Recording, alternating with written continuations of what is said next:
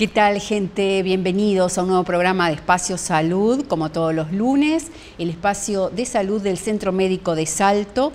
Y a lo largo de, este ciclo hemos venido este, tratando diferentes temas, como siempre recordamos al principio de cada programa, como es la salud cardiovascular, el tema también de la diabetes en, la semana de conmemoración de la prevención de la diabetes, también el cáncer de mama, el cáncer de colon, el, cáncer de, de, cuello de útero. Hemos hablado también con la gente de cuidados paliativos, tanto de adultos como pediátricos. También hemos hablado de medicina familiar y comunitaria, algo que está tan en el tapete hoy, este, que viene a ser la, puerta de entrada de nosotros los usuarios al médico de referencia, al viejo y querido médico de, cabecera de antes, para después que ellos nos deriven, si es así, a cada uno de, de los especialistas del staff del Centro de Médico de Salto.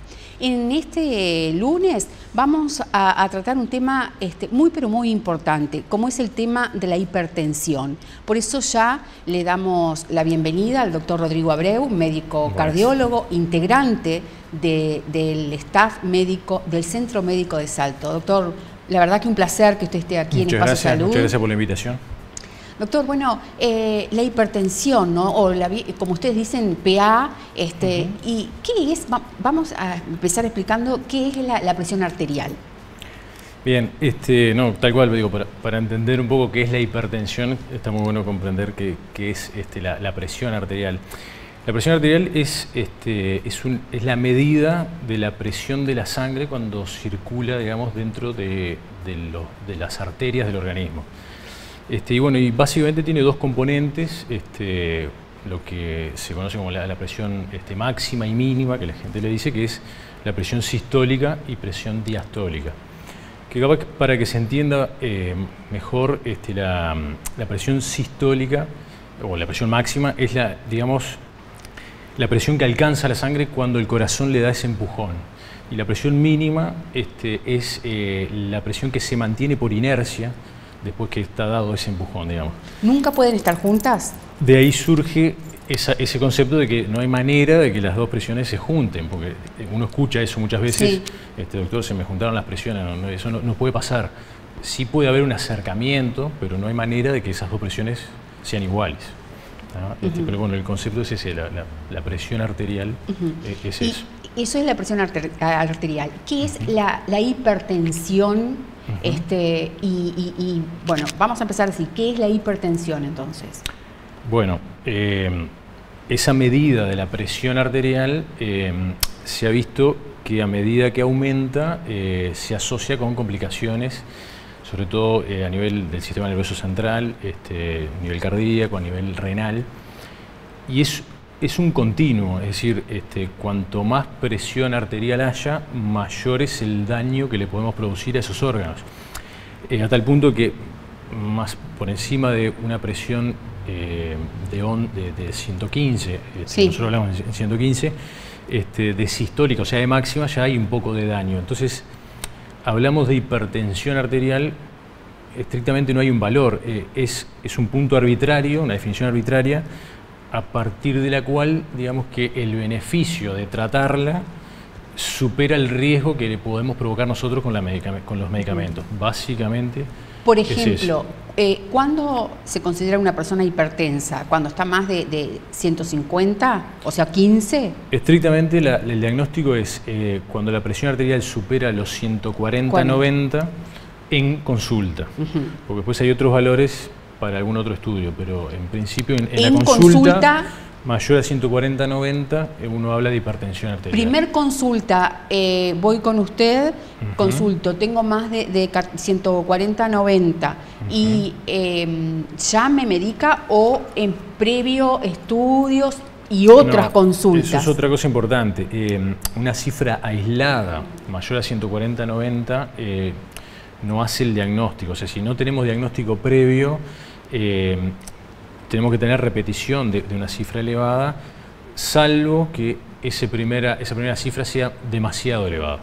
Se habla más o menos arriba de, 180 de sistólica, si uno tiene más de 180 en una única vez, es difícil que sea un error o que sea por, por nervios del momento. Eh, en general ya con, ese, con, ese, valor ya... Lo que le decían antes este, eh, de túnica blanca. a la túnica blanca. que, sigue existiendo, pero en ese valor eh, uno, digamos, como que no lo plantea. Digo, ya, si estás con 18 de sistólica, eh, seguramente seas hipertenso. Claro.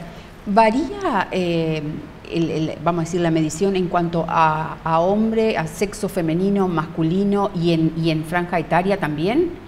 Por ejemplo, el valor, si, un hombre puede tener más de, 140 y estar dentro de normal por ser hombre o no. No, no, el diagnóstico es indistinto del sexo. Digo, este, los, hombres tienen más riesgo de ser hipertensos, eso sí es así, pero no es que se les permita una mayor presión arterial por ser hombre o... Claro, no. es indistinto. Ni por eh, obesidad, ni por nada, ni tamaño físico, nada.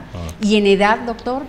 Bueno, no, eh, los niños sí, este, hay, curvas y tablas para eso, este, y después lo que sí es real es que en los ancianos, si eh, el objetivo de, presión arterial es menor, o sea, uno, uno trata de no bajarles tanto la presión arterial porque se ha visto que puede ser perjudicial. El bajarle, el, bajarles demasiado, Este, la presión arterial. Eso es lo que se llama curva en J que sí que está bueno bajarlo, pero hasta determinado punto. Si uno se pasa, ya empieza a ser perjudicial. Es un mito, entonces, como hablábamos ahora, eh, este, que hay gente que dice, no, pero yo si, si ando con menos de, de, 160, ponele, 16, este, me siento mal. ¿Es un mito eh, de acuerdo al organismo? Pasa que hay una hay algo que se llama autorregulación. Entonces, em, una persona que está acostumbrada a estar con 160 de presión habitualmente, eh, todo su organismo y, los vasos sanguíneos, sobre todo cerebrales, están acostumbrados a recibir esa presión y acomodan el flujo este, a esa presión que reciben. Entonces, si uno le baja bruscamente, le normaliza bruscamente la presión, eh, todas esas modificaciones que se provocan demoran en adaptarse. Entonces, eh, lo que generamos es que le esté llegando menos sangre de la que le tiene que llegar porque no le dimos tiempo a acomodar todos esos mecanismos. Entonces lo que no está bueno bajarlo bruscamente, hay que ir como en forma gradual. Por eso hay veces cuando uno inicia el tratamiento antihipertensivo pasa de que la gente se siente como cansada, aún con cifras normales. Claro. O, incluso altas. Los pacientes que están con 190 o 180 todo el tiempo, si uno los deja capaz que en 14, 15, que está mal, porque sigue siendo alto, capaz que es mucho el descenso para ellos, igual se sienten mal. Claro. Entonces hay que hacerlo paulatinamente por ese motivo, sobre todo por ese motivo, que, hay que darle tiempo al organismo a, adaptarse. La, hipertensión arterial, el, enemigo el, silencioso, vamos a decir, que, a veces no nos damos cuenta porque muchas veces no presenta síntomas, como a veces sí. Sí, lo, habitual es que no, no dé ningún síntoma. Este, la mayor parte de los pacientes no tienen síntomas y están hipertensos, de hecho uno se acostumbra a esa presión arterial por, esto que decimos.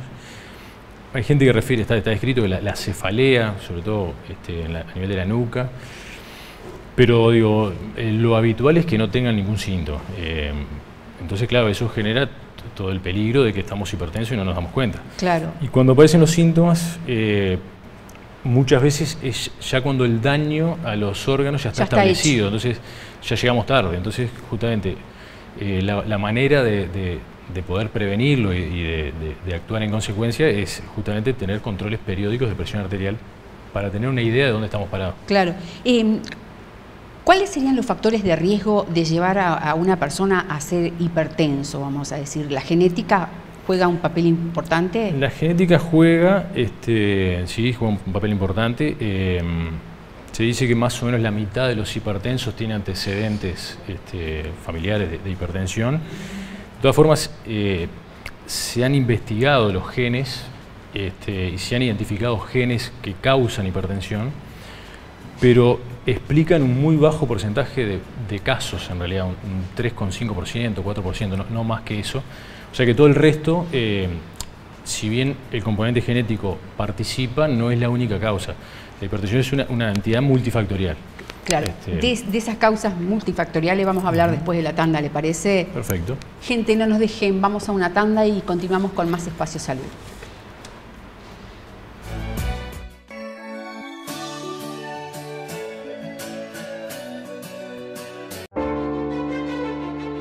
La construcción de una mejor salud ha sido desde el inicio nuestra principal tarea. Mejores profesionales y condiciones de atención, más infraestructura y más calidad. Pero esta vez lo hicimos desde los cimientos. Está listo para recibir a los profesionales y trabajadores de centro médico un lugar equipado a la vanguardia está listo para cuidar y servir a los salteños el centro de agudos de Centro Médico. Más servicios, más salud. Lignor Hogar te promete un verano ganador. Con su mega promo que tiene más de 15 mil dólares en premios y un Suzuki Alto 0 kilómetro como gran premio final. Con cada mil pesos de compra llevas un cupón y aprovechás ofertas como estas.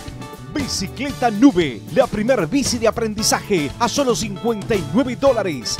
Bicicleta Vacio Mystic, 155 dólares. Moto Star Trek con MP3, luces LED y sonido a 159 dólares. Lignor Hogar en estas fiestas. Con todo lo que buscas y más.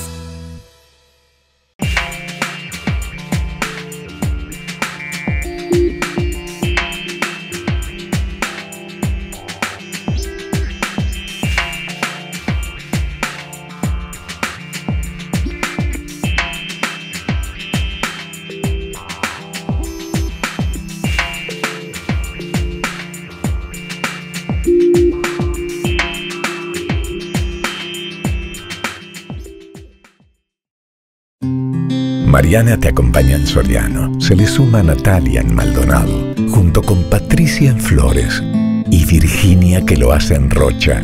Todas unidas a Ofelia que te acompaña en Tacuarembó. Somos más de 1.500 personas en todo el país unidas para acompañarte donde estés, donde vayas y donde nos necesites. Unidos la única red de servicio de acompañantes con cobertura nacional y conocimiento y experiencia local.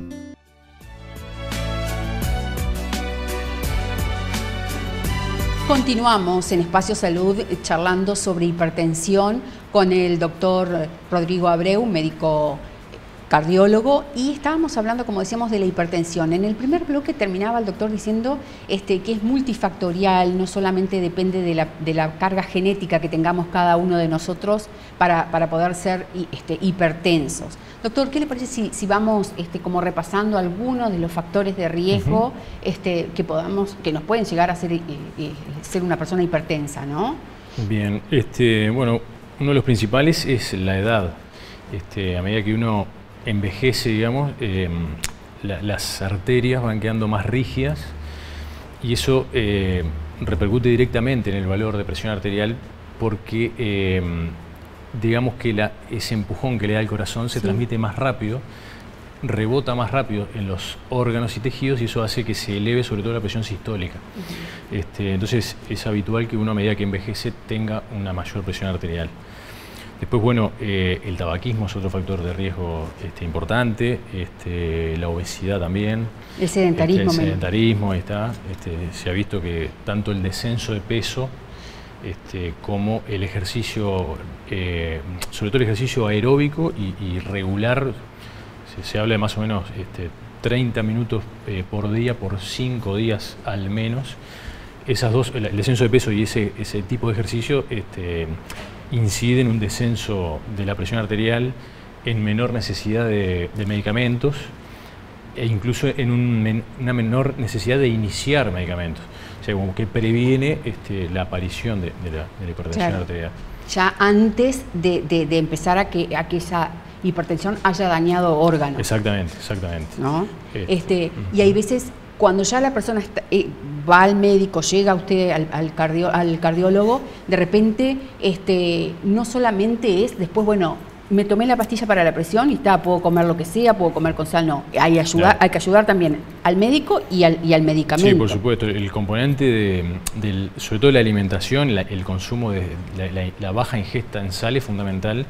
Primero, también para prevenir que aparezca la hipertensión pero además este, para que funcionen bien los medicamentos, porque los diuréticos este, prácticamente no funcionan si uno mantiene la ingesta de sal, este, pero también los otros, los otros antihipertensivos nosotros le, sacamos eficacia este, al, mantener esa ingesta de sal, o sea que es como todo un combo, no es solamente la pastilla y nada más. Claro, porque, hay mucha gente, no, no, ya me tomé mi pastilla para la presión ahora y después lo ves este, haciendo una vida sedentaria, con sobrepeso. Totalmente, y hay, otra cosa, claro, el, el, susto este, eh, por el diagnóstico o por algún evento asociado dura poco. Nosotros lo, vemos en el, en el, consultorio. En el, en el, servicio de hemodinámica, que claro, pacientes que tienen un infarto, este, hipertensos, que no se tratan, bueno, empiezan a tratarse, pero se tratan no, mucho, mucho tiempo. Entonces eso también... Después de este, haber pasado por el IMAE... Y se ve de todo. No, son todos, pero eh, es frecuente que uno inicialmente adopte todas las medidas y después este, como que se deja estar. Claro. Este, doctor, em, la edad, bueno, lo decíamos, em, ¿el embarazo es un factor de riesgo en la mujer? El embarazo en sí no es que sea un factor de riesgo para hipertensión. Em, de, hecho, en lo normal, en el embarazo, un embarazo normal, la presión tiende a bajar, e, e, es lo normal. Lo que uno asocia con el embarazo, y, está bien, digo, hay, una enfermedad del embarazo que se llaman estados hipertensivos del embarazo, en la cual por una reacción inmune que se provoca con la placenta, se genera o, empeora una, hipertensión previa o genera una hipertensión de nuevo con eh, grandes daños en órganos, este, eh, que eso es lo que le da la gravedad. Entonces capaz por ahí surge la... Este, entonces, claro, las embarazadas eh, se hace un estricto control de la presión arterial por ese motivo. Además, dado que habitualmente no son hipertensas previos, este, cualquier pico de presión genera más daño. Entonces, eh, por eso a ella y al, y al, y al bebé. Por supuesto, por supuesto. y ni que hablar ya en el momento del parto. También, sí, sí. Un riesgo grandísimo para la mamá. Parece que hay que inducirlo antes, justamente como complicación de, esta, de esta enfermedad, digamos. Claro. este, el, el estilo de vida que llevamos todos, ¿no? Eh, ¿Influye también para, poder este, empezar a ser hipertensos? Sí, un poco lo que hablábamos, del tema del ejercicio, este, la ingesta de sal, el consumo de alcohol, que no, lo, hablamos, el consumo este, eh, mantenido de alcohol, eh, porque en, agudo tiende a bajar la presión, pero el, consumo mantenido de alcohol, este, aunque no sean grandes cantidades, este, tiende a elevar la presión arterial. Entonces, Cuando usted dice en agudo tiende a bajar, es que está permitido. Claro, una ingesta, no, si es una única vez, en realidad el efecto inmediato del alcohol es vasodilatador, o sea, al contrario, tiende a bajar la presión. Pero si, si todos los días o frecuentemente estamos tomando alcohol, aunque no sea mucha cantidad, sí, porque termina provocando lo contrario. Eso también lo escuchamos nosotros y ustedes como médicos más capaz también, es otro de los mitos es, no, me tomé la pastilla, este, ahora puedo comer lo que quiera, ¿no? O también es, mi médico me, recomendó una copita de vino con cada comida. Es así. esa, la piden varios. es así. Este, Entonces, por eso, cuando usted dijo ahora, en agudo tiende a bajar, yo, bueno, entonces capaz que no es un. No, lo que hay algunos estudios que muestran que una copa chica de vino este, en forma diaria previene algunos eventos cardiovasculares.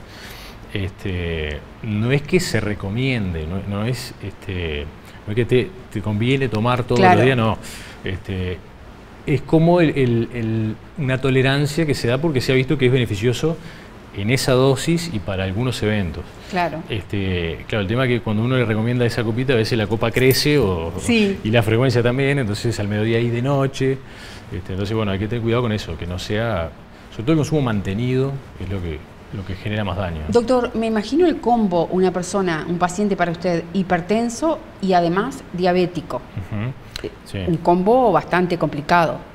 Sí, lo que tiene la hipertensión es eso, que, mm, eh, la combinación con otros factores de riesgo, em, digamos que aumenta exponencialmente eh, la chance de tener algún evento, más que si lo sumamos individualmente a cada factor.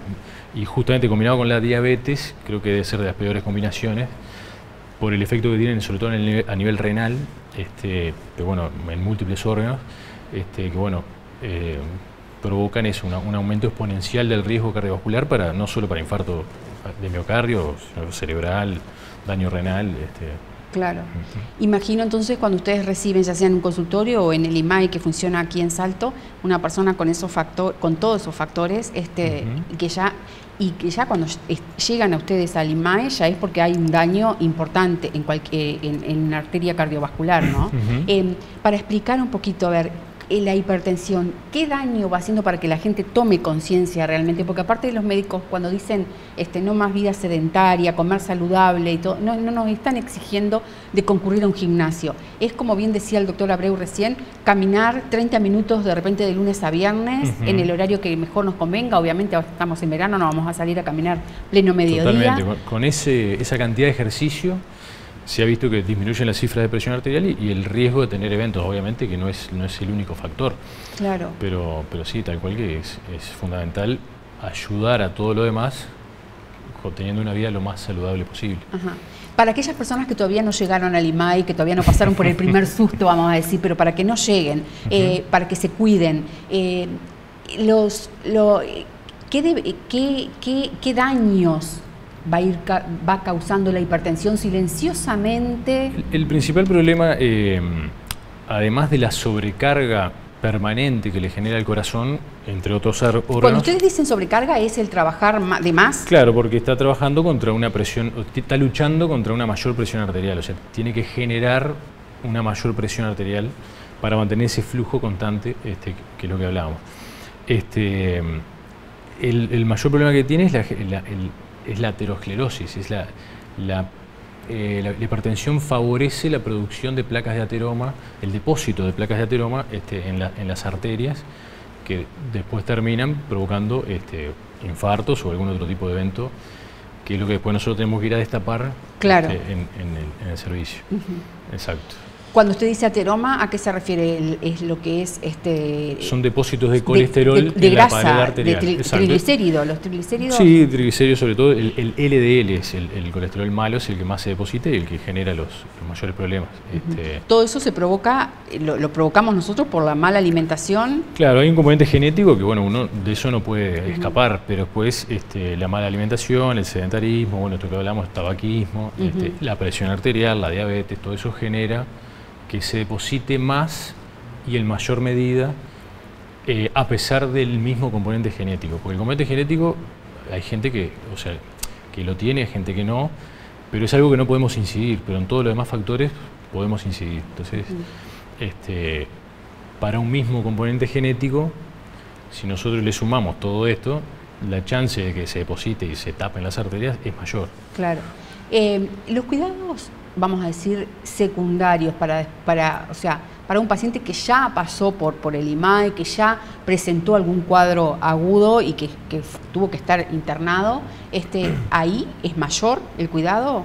Sí, eh, digamos, las cifras objetivo varían un poco, depende de las patologías asociadas que tenga el paciente. Pero bueno, obviamente que si ya tuvo un evento, es un paciente ya de por sí de alto riesgo. Distinto el paciente que tiene el diagnóstico de hipertensión y no, ha tenido ningún evento.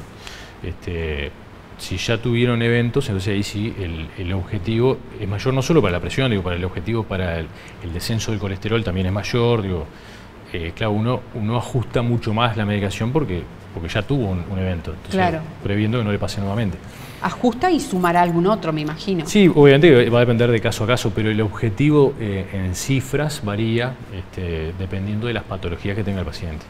Este, sí, obviamente que diferente si nunca tuvieron ningún evento, que bueno, ahí eh, lo que hay que apuntar es a que no le pase por primera vez. Claro. Sí, eso, por eso es que estamos hablando de tratar de, prevenir lo que, lo que es la hipertensión. Gente, nos vamos a, a, una tanda nuevamente, no nos dejen y ya volvemos con el tercer bloque con el, doctor Rodrigo Abreu.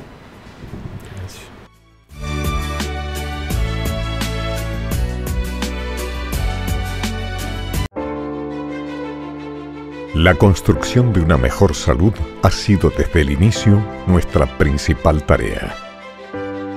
Mejores profesionales y condiciones de atención, más infraestructura y más calidad pero esta vez lo hicimos desde los cimientos. Está listo para recibir a los profesionales y trabajadores de Centro Médico un lugar equipado a la vanguardia. está listo para cuidar y servir a los salteños el Centro de Agudos de Centro Médico. Más servicios, más salud. Lignor Hogar te promete un verano ganador. Con su mega promo que tiene más de 15 mil dólares en premios y un Suzuki Alto 0 kilómetro como gran premio final. Con cada mil pesos de compra llevas un cupón y aprovechás ofertas como estas. Bicicleta Nube, la primer bici de aprendizaje a solo 59 dólares. Bicicleta Vasio Mystic, 155 dólares. Moto Star Trek con MP3, luces LED y sonido a 159 dólares. Lignor Hogar en estas fiestas. Con todo lo que buscas y más.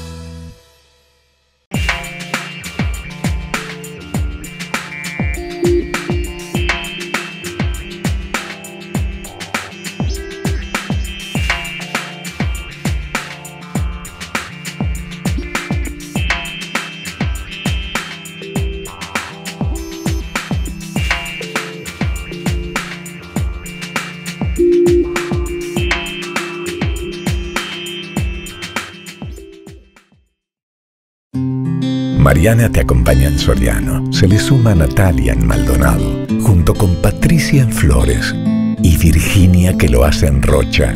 Todas unidas a Ofelia que te acompaña en Tacuarembó. Somos más de 1.500 personas en todo el país unidas para acompañarte donde estés, donde vayas y donde nos necesites. Unidos la única red de servicio de acompañantes con cobertura nacional y conocimiento y experiencia local.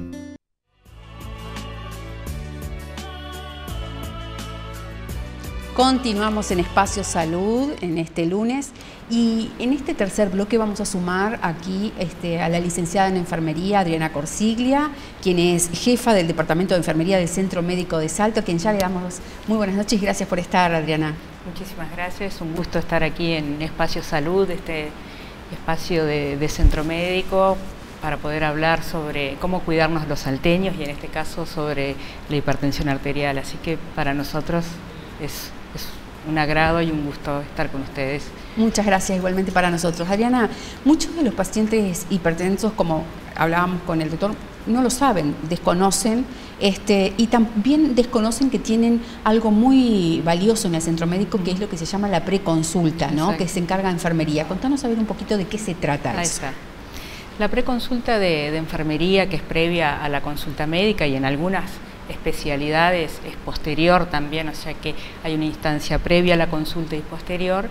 Eh, habitualmente el afiliado o los usuarios lo conocen como a, pasar a controlarse la presión, pero en sí para nosotros es mucho más significativo, sino que es medir otros parámetros, no solamente la presión arterial, sino el peso, la talla y, en base a esas ecuaciones, es decir, sacar un índice de grasa corporal este, que nos va a dar determinados indicadores que nos posicionarán en qué lugar de riesgo de salud estamos. También es una linda oportunidad para hablar de salud, para ver cómo estamos de nuestros hábitos saludables, de nuestras conductas, cómo manejamos el estrés, es decir, si, estamos estresados, si estamos cansados, si estamos abatidos, muchas veces también eso es producto del vínculo de qué personas nos rodeamos, por eso es importante también este, estar rodeada de personas positivas porque también hace bien para el corazón, además de, dejarnos personas saludables. Y más con el estrés que vivimos hoy, los horarios que, todos tenemos, este, el estar en el lugar de trabajo que, sea agradable, que nos sentamos eh, tranquilos, conformes y con compañeros este, agradables, o sea, eso también es fundamental y pienso que ayuda. No cabe duda, es, es así. Este, y algo importante en, esa en esa preconsulta que no solamente nos enfocamos a lo que son este, el adulto medio o el adulto mayor, sino también al adolescente. La, hipertensión hoy se ve en, niños, se ve en adolescentes y bueno, allí también se, abordan temas relacionados a lo que es una comida sana, que no es que se prohíba este, comer una papita o, una papita estas este, que ahora vienen de sal regulada este, o ese tipo de, comida, sino también empezar a regularla y empezar a hacer un equilibrio entre verduras, frutas y tratar de, de que eso no sea el centro de lo que es la alimentación, ¿verdad? Que, ese, ese, esa papita o esa hamburguesa que todo adolescente le gusta puede ser una excepción un fin de semana tal vez, pero durante la semana poder incorporar más frutas y verduras este, y, carne, por ejemplo, al horno esto, o a la plancha, ¿no, doctor? Claro, porque aparte es el momento también de, educar en ese sentido, porque después se hace una costumbre el comer mal y, es difícil volver, para atrás. Digo, eh, Cuanto antes, este, incluso con niños chicos, digo, este, uno empiece a educar en una buena alimentación, este, el, efecto lo vamos a ver posteriormente y va a ser más fácil mantenerlo también. Eh, Adriana, tú decías este, eh, lo que todos conocemos como me voy a controlar la, presión. Este es el consultorio, para dejar bien claro a los televidentes, que uno ingresa a, los viejos y queridos consultorios del Centro Médico en calle Artigas, ahí casi 33, ingresas y tenés a la derecha, ahí que sacas un número, ¿ese es el consultorio? Ese es uno de los consultorios que este, es de acceso público, allí no se, no, se accede a ninguno del, del área de policlínica, puede ir cualquier afiliado el día su consulta o cualquier otro día este, simplemente retira un número, lo bueno es que, se tome su tiempo para también, para que si vino caminando rápidamente o, vino agitado, tenga unos minutos para descansar, este, para que la frecuencia cardíaca este, se quede más armoniosa y ahí se toma la, presión arterial. Ese sería uno de los lugares. También, si pasamos para el área donde se realizan las consultas médicas, este, se llama en el consultorio 28 eh, y 29, que habitualmente la gente lo llama Keitos, en sí es una policlínica de, prevención de la salud cardiovascular, también ahí es otro espacio donde hay un consultorio y, estamos prontos a, poner en funcionamiento un segundo consultorio donde están estas, estas balanzas inteligentes que lo que hacen es emigrar directamente a la historia clínica este, la información que allí se carga. Y ahí importa no solamente la la, la, cifra, la tensión arterial, sino también importa la concentración de nuestra grasa en el cuerpo, el índice de masa corporal que tenemos, porque también estos otros indicadores también nos, están, nos van a estar dando este, pistas o alertas para que le pongamos atención, ya sea incorporando hábitos de alimentación, como recién hablábamos, o incorporando otros hábitos tan sencillos como el caminar, que el caminar no es nada complejo, significa que si voy en ómnibus quizás tome el hábito de empezar a bajarme una o dos paradas antes, eh, que si ando en moto o en auto eh, no empiece a parar exactamente en el lugar donde estoy, sino que empiece a estacionar unas cuadras anteriores y, de esa manera ir, ir eh, ejercitando, ir incorporando el hacer ejercicio dentro de lo cotidiano que muchas veces no es esto no es necesario eh, vestirnos, de tener determinadas zapatillas, determinada ropa, sino que con la con la ropa habitual de irnos a trabajar también podemos hacer ejercicio, claro, ¿verdad? Porque además, a medida que uno lo va haciendo, ejercitando, lo va sintiendo, ya sea eh, capaz que no, nos damos cuenta enseguida en el, en el peso ni, ni, en la salud cardiovascular, pero sí en, la salud eh, psíquica, o sea, levanta la, autoestima, como que también levanta y te da ganas y, de salir, de volver a salir, ¿no es así, doctor? Sí, totalmente, tiene un efecto muy positivo, está, hasta estudiado eso con liberación hormonal. Este, este, de endorfinas, este, el, ejercicio tiene un, efecto muy favorable en, ese sentido. Sí, sí. Adriana, decías el consultorio este que la, la, gente lo llama que por, por, el tema del nombre de, de, la, de las balanzas. De las balanzas ¿no? inteligentes. ¿No es el, donde estaba antes enfermería para tomarse la presión o para hacerse los inyectables ahí en el centro? ¿Es ahí? Claro, existen dos lugares. consultorios claro, Está el consultorio 1, que ese es un lugar sí. previo que puedo ir cualquier día. Y, también, no tiene costo ahí. No tiene costo el otro lugar tampoco tiene costo. Y también esa información a través de la historia clínica electrónica también se va, se va acumulando y va quedando en un registro para cuando esa persona vaya a la consulta con su médico.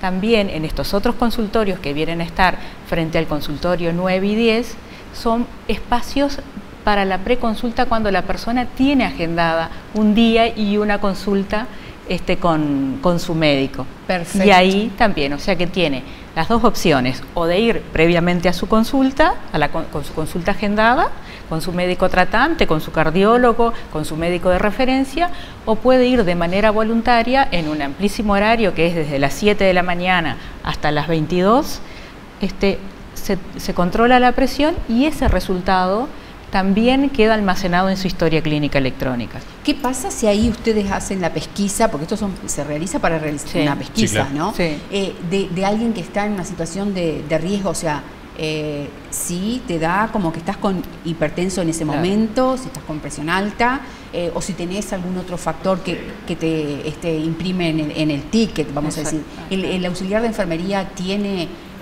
que, avisar al, médico, al licenciado que está a cargo en ese momento o no? muchas veces lo primero que se hace es, se hace un primer control de, la tensión arterial, dio patológico, dio alterado y lo que se hace es que la persona salga, espere unos minutos y se vuelve a realizar un segundo control. Muchas veces si es en la por la balanza inteligente que dio, lo que se hace es controlar con el aparato manual. Sí. Si aún así este, las cifras continúan alteradas, este, por supuesto se le pregunta si tiene medicación y si está en el momento de su consulta con su médico, lo que se hace es, se le llama por teléfono este, a su médico y se le, se le avisa que está el afiliado, que tiene tal número, se encuentra con esas cifras tensionales, ¿verdad?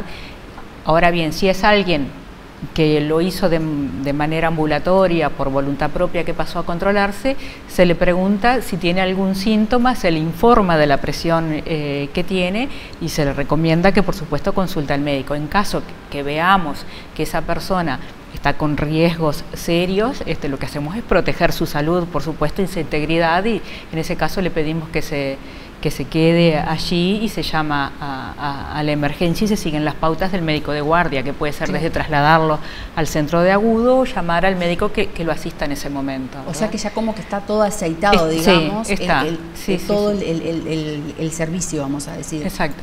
Esas pautas este, fueron mucho más este, aceitadas y más verbalizadas con la inauguración del centro de agudo, lo cual preocupaba a los afiliados de, no tener más el respaldo de la emergencia detrás de los consultorios. Claro. Entonces, este, a partir de allí es que ya está pautado, hay un espacio donde hay unos administrativos que se llama Isla, este, ahí se tiene eh, un diálogo muy fluido con, con los afiliados, es un espacio donde hay un escritorio, no hay vidrios, no hay mampara, lo que se pretende es un intercambio y una comunicación como estamos teniendo aquí donde el afiliado puede plantear desde cómo bajar una aplicación a, su celular hasta plantear estas situaciones o este, también dudas en cuanto a los exámenes que tenga, cómo coordinarlos, dónde, dónde se los realiza. Lo que buscamos es este, eh, mejorar nuestro, nuestro diálogo, nuestra comunicación con el afiliado y sobre todo ir despistando estas inquietudes, ¿verdad? Y, convertirlas en, en certezas. Sí. La, gente toma conciencia, Adriana y, doctor, de, esto de, del cuidarnos o ya cuando están ya con el agua al cuello? No, yo creo que sí. Este, me da la impresión de que, la gente es, más consciente por todo este tipo de, iniciativas de, en los medios. Este, por supuesto que, claro, el, evento, eh, si, la persona tuvo algún incidente, algún infarto, lo que sea, es como hablamos hoy, digo, eh, en ese momento como que se, eh, se asusta y bueno, y tiende a cumplir más todas las recomendaciones, pero me da la impresión de que sí, de que no, la gente se está cuidando más que antes, me, da esa impresión. Ha mejorado, perdón, muchísimo también creo que el nivel de información de las personas, eso también lleva a que las, el tener más conocimiento y conocer más sobre los riesgos, la hipertensión no solamente eh, causa enfermedades cardiovasculares, sino también cerebrovasculares también. Entonces, eh, a veces no sé si es por conciencia o por miedo, ¿verdad, Rodrigo? Que, este, eh, o ambas que hacen que, nos cuidemos más y que seamos más armoniosos con nuestra vida. Y esos accidentes, esos problemas lo estamos viendo cada vez, a veces, mm. lamentablemente, en personas más jóvenes, ¿no? Sí, Vamos a, a otra tanda y ya volvemos con más espacio salud. No nos dejen.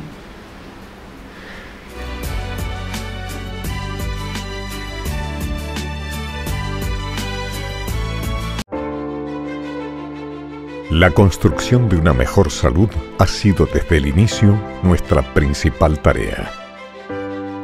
Mejores profesionales y condiciones de atención, más infraestructura y más calidad. Pero esta vez lo hicimos desde los cimientos. Está listo para recibir a los profesionales y trabajadores de Centro Médico un lugar equipado a la vanguardia. Está listo para cuidar y servir a los salteños el centro de agudos de Centro Médico. Más servicios, más salud. Lignor Hogar te promete un verano ganador. Con su mega promo que tiene más de 15 mil dólares en premios y un Suzuki Alto 0 kilómetro como gran premio final. Con cada mil pesos de compra llevas un cupón y aprovechás ofertas como estas. Bicicleta Nube, la primer bici de aprendizaje a solo 59 dólares. Bicicleta Vasio Mystic, 155 dólares. Moto Star Trek con MP3, luces LED y sonido a 159 dólares. Lignor Hogar en estas fiestas. Con todo lo que buscas y más.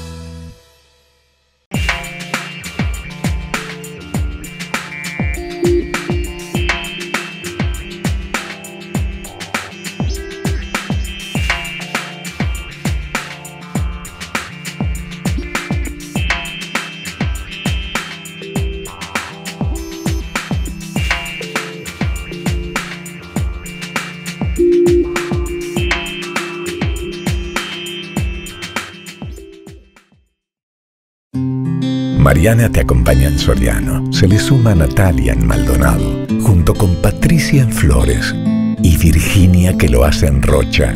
Todas unidas a Ofelia que te acompaña en Tacuarembó.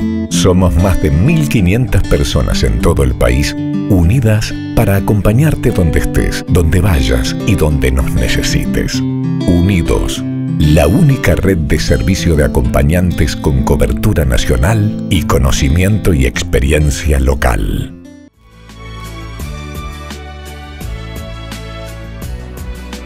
Continuamos en Espacio Salud en este cuarto y último bloque. Eh, espacio Salud, espacio del Centro Médico de Salto y estamos hablando en este caso con el doctor Rodrigo Abreu, médico cardiólogo, y la licenciada en enfermería Adriana Corsiglia. Eh, estamos hablando del tema de hoy, un tema muy, pero muy importante que nos compete a todos, que es la hipertensión. Em, ¿Qué pasa, doctor, cuando entonces el paciente ya tiene el diagnóstico de hipertenso? De ahí, bueno, cuidarse, y ahí están en sus manos. No, claro, un poco lo que, lo que decíamos, eh, lo fundamental es lograr un, eh, un, adecuado control de esas cifras tensionales este, y evitar que aparezcan este, los daños en esos órganos si es que todavía no, hubo. Entonces, bueno, digo, eh, creo que lo básico es, es, el automonitoreo de, de, la presión arterial. Este, si, uno tiene la posibilidad de tener los, los aparatitos esos en domicilio, eso es ideal.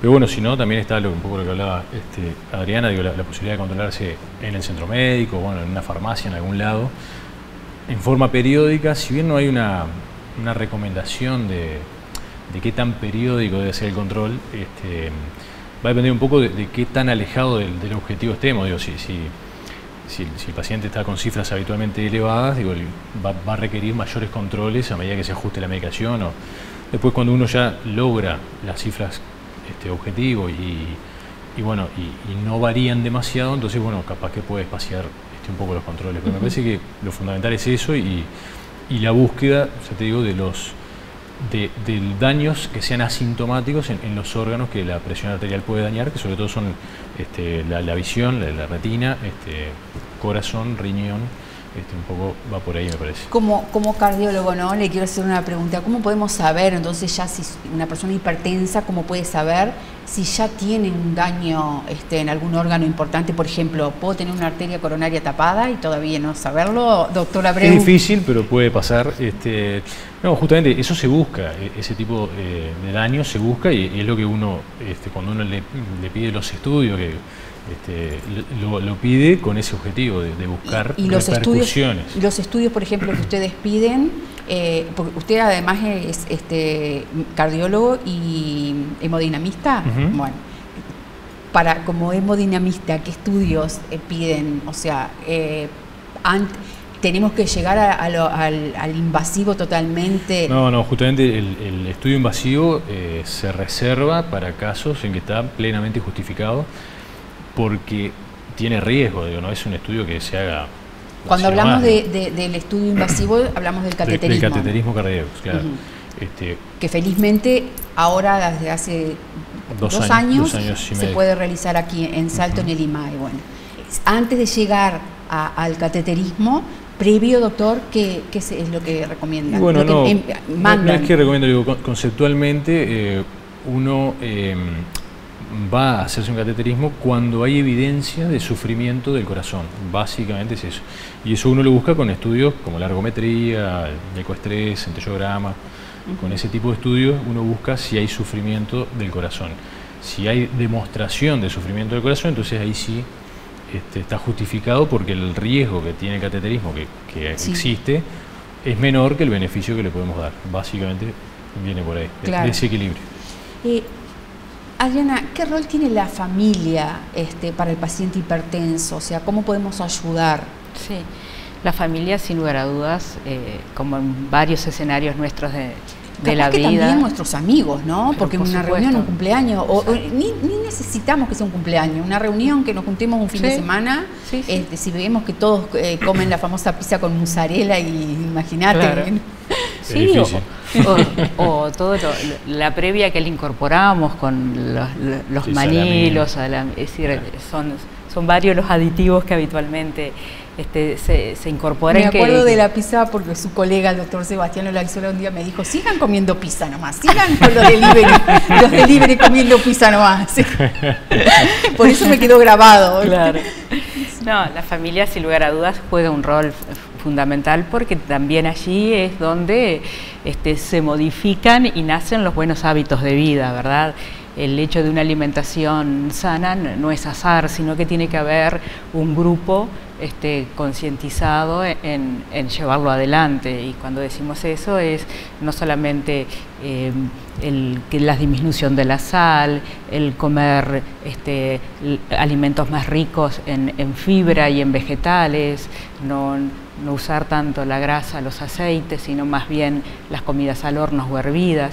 Entonces, de manera de que todo el grupo familiar lo tenga internalizado y propio ese alimento, sin lugar a dudas que no le va a ser solamente bien para la persona hipertensa, sino todos nos vamos a ver, bueno, vamos a ver este, favorecidos. Y junto con la alimentación, lo que es la incorporación naturalmente de todos los integrantes de la familia, de lo que es la práctica del ejercicio como algo habitual e incorporado, que es el salir a caminar, ir a la plaza de deporte, a jugar al básquetbol, al fútbol, al handball, es decir, este, que no se necesita hacer grandes inversiones de dinero para poder llevar una vida activa una vida activa desde el, desde el punto de vista físico para mejorar este no, claro, y aparte es, digo, es, difícil si, sos el único que tiene que salir y lo tiene que hacer y los demás están todo el día quietos mirando tele no es lo mismo este, que si todo el, grupo hoy, yo voy de mañana vos de tarde yo sé eh, motiva más y, y hace que se mantenga más ese estilo de vida. Y me quedó grabado algo que usted decía, doctora, hace un ratito, es que si en ese grupo familiar hay chicos, hay niños, ya van aprendiendo. Y quieran o no, después nos van ellos a insistir, no, esto no podemos comer porque, este, o como pasó con el cigarro, Igual. Sí, Igual. ¿Cuántos chiquitos a los padres les dicen no fumes porque te hace mal? Porque ya en la escuela ya se les enseña del cigarrillo, del no al cigarro. El no al cigarro, el manejo del estrés también, este, el, salir a hacer ejercicio y, hoy que vivimos tan rápido, tan alocado y que parece que los tiempos no nos dan, es un buen momento también para reencuentro de la familia, salir, salir a caminar o disfrutar de, de espacios al aire libre. Este, también sirven de... El otro que no, no, que no, es menor es la adherencia al, tratamiento farmacológico también. Mm. Este, eh, pasa muy seguido que la gente deja de tomar la medicación. Claro, si toda la familia, este, señora, que sea, le, insiste no tomar, tomar la medicación porque te toca tomarla, tenés que tomarla. Digo, es otro apoyo que, que también está ahí como para para que uno no, abandone el tratamiento. Y, ¿Por qué abandonan? ¿Por qué, doctor? ¿Por reticencia a, tomar, a estar medicamentado o porque se siente bien? Hay múltiples motivos, sí, yo que sé. Este, sí, eso, la gente se siente bien como no da síntomas la hipertensión. Hablando de, hipertensión, ¿no? Pero Este, el abandono del tratamiento es un problema no, solo de la hipertensión, pero este, como no, da síntomas, me siento bien, o también la he escuchado, eh, no soy hipertenso porque tengo 13-7 todo el tiempo, pero tomo 5 medicamentos para tener 13-7. Entonces te dicen que no son hipertensos porque, porque la cifra no es de hipertensión, pero no es de hipertensión a expensas de toda esa medicación. Entonces también he escuchado que, que, dejan la medicación porque la cifra está normal, entonces automáticamente se dispara. ¿no? Doctor Adriana, ya para ir cerrando, bueno, eh, hablemos entonces de, los consejos básicos, este, como decíamos, de no vida sedentaria, una buena alimentación, este, tratar de bajar la ansiedad y el estrés, este, eh, bueno, los controles, ¿qué más Adriana, por ejemplo? El, manejo también y el control de nuestro peso corporal, este, también, también ayuda, el tener un buen descanso sobre todo también el manejo de la atención, que en, los tiempos de hoy es, frecuente. Yo creo que el incorporar hábitos de vida saludables nos van a hacer este, sentir eh, más sanos eh, y no solamente manejaremos la hipertensión, sino que también estaremos previniendo cantidad de otras enfermedades que están directamente involucradas con lo que son los hábitos y la vida moderna. Es decir, esto las enfermedades cardiovasculares, por supuesto que son algo muy prevalente, pero también las causas y la raíz de las oncológicas también están ligadas, están ligadas y están casi de la mano también. O sea que el mejor consejo es llevar una vida saludable, eh, una dieta equilibrada, el incorporar el ejercicio como parte de, lo que es nuestra vida este, y bueno, ocuparnos de, de, nuestro, de nuestro cuerpo y de nuestro bienestar, que es lo que realmente nos va a hacer sentir. Y además somos conscientes que tanto la licenciada como el doctor nos están pidiendo, tampoco bien lo dijo la licenciada hace un ratito, no tampoco la, el mejor equipo deportivo, la mejor zapatilla, eh, ir a un club, a un gimnasio, no. es caminar y también este, comida sana, estamos hablando de verdura, este, eh, frutas, tampoco algo que, digamos... Eh, que, no lo podemos Cambiar el frito por el horno. Claro. Es decir, es, tampoco es tanto el sacrificio, digamos, sino ir buscándole ciertos kits para que la comida sea más saludable. Tenemos una hermosa costanera, una ciudad recostada al río, disfrutable de los atardeceres, este, así que también invitan a hacer, hacer ejercicio, despejar la mente, tranquilizarla. Son, son, varios los factores. Doctor, ¿algo más para agregar? No, creo que un poco medio, ya está dicho todo, pero este, no, comparto un poco lo, que decía Adriana, digo, fomentar ese tipo de, estilo de vida que, a la larga no, no, solo va a servir para la hipertensión arterial, sino que decía que, que también previene otro tipo de, patologías que van muy de la mano en cuanto a los factores de riesgo. Entonces me parece que, es útil para muchas cosas, no solo para la presión arterial. Doctor Rodrigo Abreu, Licenciada Adriana Corsiglia, ha sido un placer para mí que estén aquí en Paso Salud. Muchas gracias a las por órdenes, la invitación. Muchísimas gracias por este, esta oportunidad de, este encuentro con todos los salteños. La verdad que dieron una clase, fueron muy empáticos, mucho gusto. Este, la verdad que me encantó haberlos tenido acá. Gracias. Gente, hemos llegado al final de Hablemos de lo que pasa en este lunes y antes del cierre quiero dar un agradecimiento, tuve un quebranto de salud, como ustedes habrán sabido, eh, días pasados, así que le doy este un beso grande y muchas gracias al doctor Gonzalo Leal por la celeridad en la que actuó en mi caso, a todo el personal del Centro de Agudos y del Sanatorio Panamericano y en especial un beso muy grande que me pidió porque es fan nuestra, la ayudante instrumentista de anestesista Natalia Torres y a todo el equipo del blog del, Sanatorio Panamericano. Hasta la semana que viene, eh, cuando volvamos con otro espacio salud. Buena semana para todos. Chau, chau.